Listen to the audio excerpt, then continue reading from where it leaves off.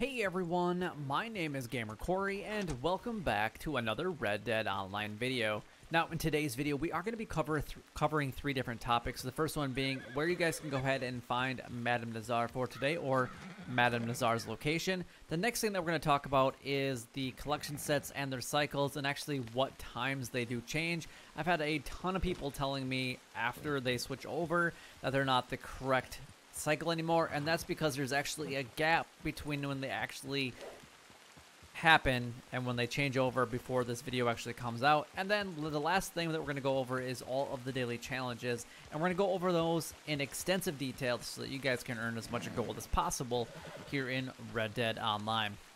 Now anyway, let's go and show you guys exactly where you can go ahead and find Madam Nazar for today, and she's located up in Big Valley, He's located just off the Little Creek River, just a little bit south of the Hanging Dog Ranch, which is a, a uh, bootlegger mission and also a gang hideout from time to time. So just make your way up here, and the fastest travel location, quickest one, will be in Strawberry for today. But if this is the only thing that you guys came here for today, then don't forget to like, comment, and subscribe down below. It would help me out a lot and is greatly appreciated. A thumbs up does mean a lot because it tells me that you guys are enjoying these types of videos. It tells me that you guys want me to continue these types of videos. And honestly, it could help out somebody else because it could get recommended to somebody that needed it just like you did.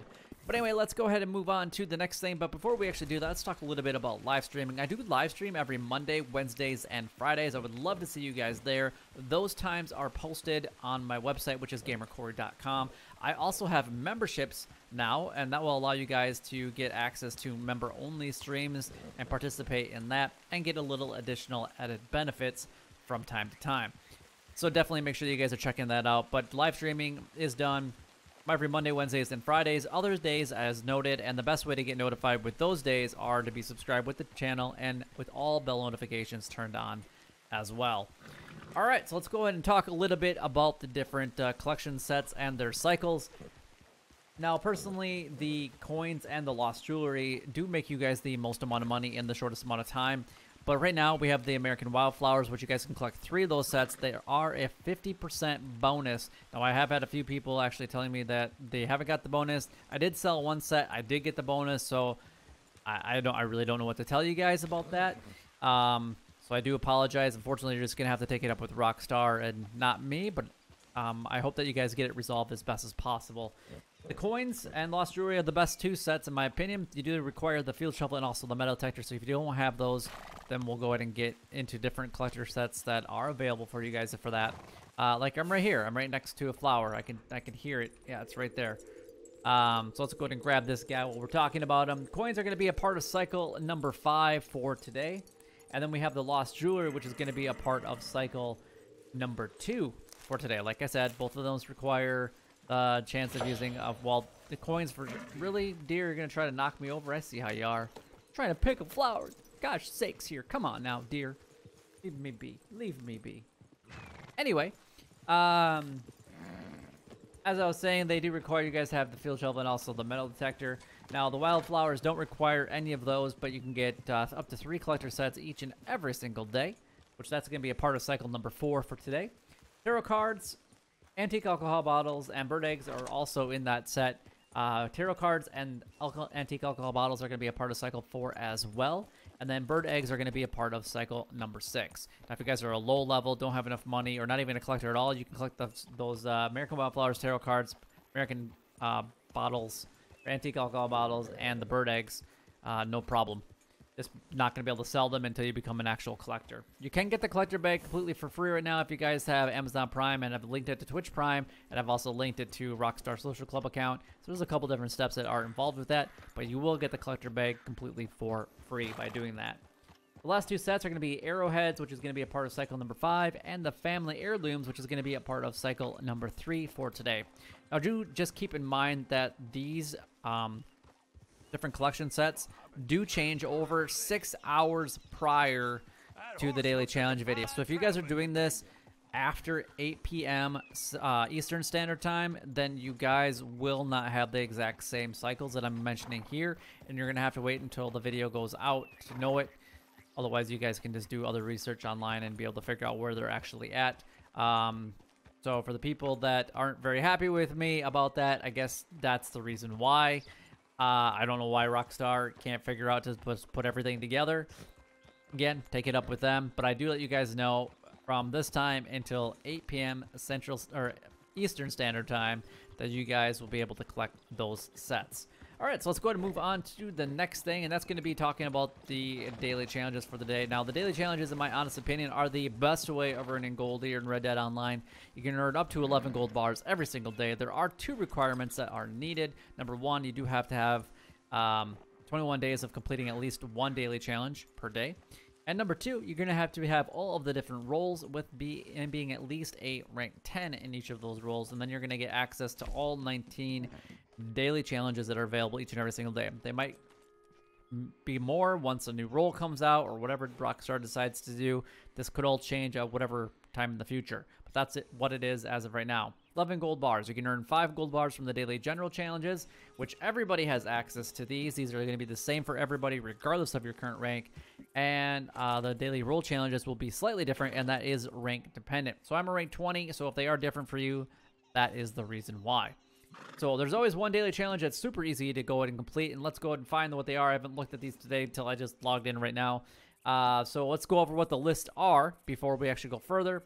Uh, we have belt buckle updated, English mace, owls plucked, pet a dog, uh, three player headshots in posse versus, three prairie chickens, one story completed.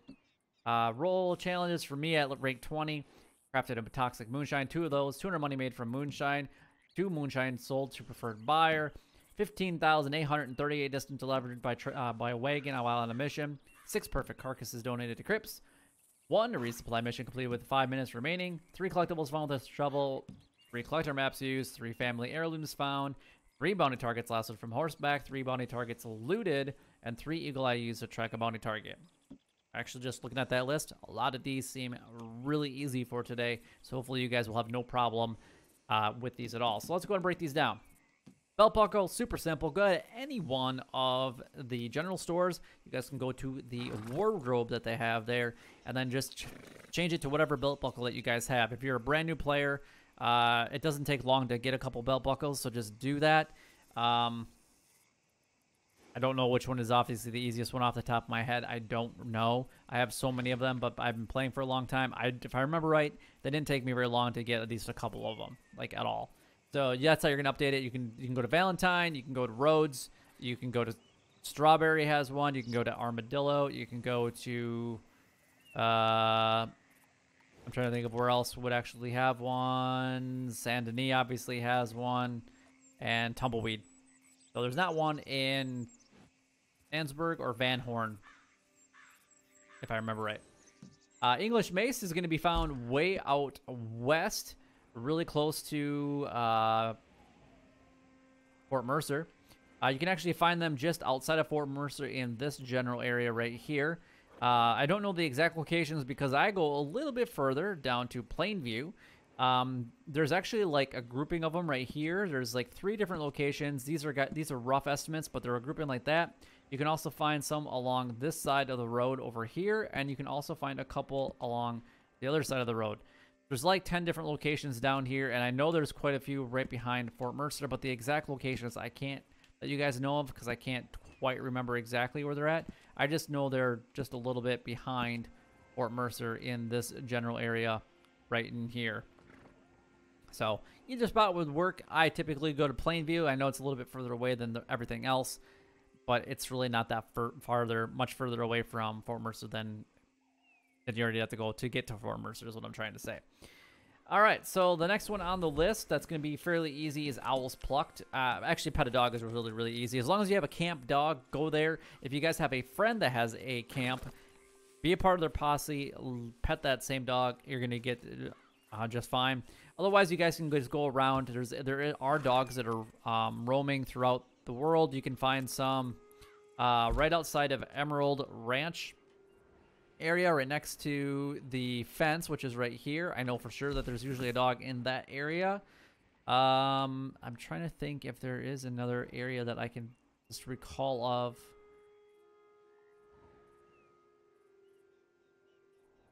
Off the top of my head, and I'm not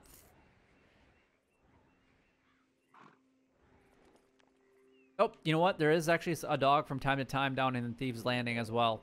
Those are the two locations that I can think of that you guys can go and find a pet, find a dog to pet if you guys don't have a camp or have a friend that can you can join their posse. Owls Plucked is not too bad. Uh, I'm going to give you guys a couple different locations real quick on the map. Number one, anywhere basically in Blue Water Marsh. If you go specifically to this little hut right here in the evening hours, so overnight hours, and just kind of like run around this uh, entire area, there will be one that will be spawning somewhere in this area. Last time that we had this, I literally just stayed, I was, I stood right here for probably like two minutes and then I was just looking in the sky and then I turned around and there was like one right above this area. Typically I just go right to where this little hut is at and I just kind of wait. Um, it doesn't usually take long, long for one to spawn, but I have seen them as far north as about here in the Blue Water Marsh area. Um, and I have seen them as far south, as close to Saint Denis as possible. So, but I like to go to that little hut. The other place that you guys can go to is basically just north of uh, Tumbleweed. Technically, it's still uh, Gaptooth Ridge area, but it's right at this intersection right here. You guys can usually find some and going all the way over towards the train tracks right here, which is kind of the divide of Gaptooth Ridge from uh, Cholla Springs. So in that general area, you can usually find some flying around in the evening hours, overnight. All right, so let's take a look at what else we got here. Uh, three prairie chickens, and then one story mission. Story mission, you can either go and talk to, as long as they got the little yellow area, you can go and talk to whoever you're going to be talking to next for a mission. Go and talk to them, or you can replay a mission by actually just going to your progress and starting any one. Um, it would be fine. And then you can actually just go ahead and start any old mission. It doesn't matter which one it is. If you, you guys can do a random one, and then it'll just send you into one by basically going down to quick join, and then story on call, it will put you into a random one if you guys really don't care. Um, Prairie Chickens, there's two spots I'm going to recommend for this. Number one, uh, right out Emerald Station area. You can find them flying around this area during the day. Or you can go um, a little bit west of Blackwater in the Great Plains area, in this general area, and you can find them flying over here during the day as well. Um, to be completely honest, I seem to find a lot more prairie chickens when I don't have the daily challenge compared to when I do. But that's the two spots that I always find them in when I do find them. And then I think the last but not least is going to be uh, the posse one. So it's uh, posse headshots, uh, posse versus mode. So basically, you're going to do posse infighting when you're in your own posse, but you're going to have to do this with somebody else. So, and then just take turns getting headshot, headshots on each other, and that's how you're going to get that one. So not too bad. So let's go to move on to the daily role challenges, which we've already covered all these. But Toxic Crafted Moonshine, I don't recommend getting the pamphlet unless you have enough money to actually do that and you've purchased everything that you want, including stuff from the rules and whatnot, because the only time that you're ever going to be crafting this Toxic Moonshine is for a daily challenge. So I would save your money and use it on something else unless you have the money to spare. You have to make $200 money made, so I would go with the the ones that make you the most money money. You're looking at the special ones, Agarita, Creek Plum, Caribbean Rum, and Strong Moonshine. And then make sure that you guys sell them to preferred buyers you could add the flavoring later once you get once the uh, people switch and you can guarantee that you have a preferred. Otherwise, that's the best way to do that. But it's going to take two batches of moonshine to sell that. We have to travel that distance of 15,830 by delivery wagon. Best way to do this is to do two distant deliveries, but that's going to take anywhere from 20 minutes to a half an hour to complete. Just to get half a gold bar, it's not worth it in my honest opinion. Six perfect carcasses donated Cripps. Looking for anything that's a three-star quality that's the best way to do that. You know, if it's a small or medium animal, use your varmint rifle. If it's anything bigger, uh, like a large animal carcass, I guess that's the only thing bigger, then use your bolt action rifle or like a Springfield rifle on those, and you should be able to, as long as you get a clean shot, like a headshot on it, then you should maintain the quality of that carcass. You have one resupply mission completed as fast as possible with five minutes remaining.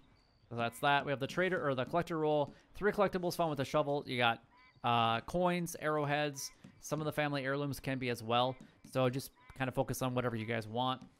The family heirlooms are going to be a part of cycle number three for today, and then you just have to use collector maps. So you could use family heirlooms for the collector map, and then you're going to be able to get that one, which is actually what I've done. It's already set up and ready to go for me. Uh, so there's that. Uh, we have three bounty targets lassoed from horseback, try to use the reinforced lasso as possible. If you guys are a bounty hunter, you should have the reinforced lasso anyway. After you lasso them from horseback, make sure that you're looting them so that you get these two completed at the exact same time. And then last but not least is to use Eagle Eye to track a bounty target. Best way to do this is when you guys get uh, told to search within like this yellow area. Typically, it does take three spots to or three times to basically track them, and just make sure that each time that you inspect an item, that you track them right after that and that will get it all done within one bounty hunting session. Otherwise, what you could do is you could lasso them, or before you lasso them, let them run away and then track them, and then that will count towards the tracking of or using the eagle eye to track a bounty target. But that is all the daily challenges done, gone over, and covered. If you guys do have any questions regarding any of them, by all means, leave a comment down below so that I can do my best to help you guys out. Don't forget that I do live stream every Monday, Wednesday, and Fridays. Times are posted on my website, which is gamercory.com. And I do live stream at other times, which will be notified if you guys are subscribed with all bell notifications turned on. But until next time, YouTube, you guys keep doing what you're doing because you're already doing it. And you guys stay gaming.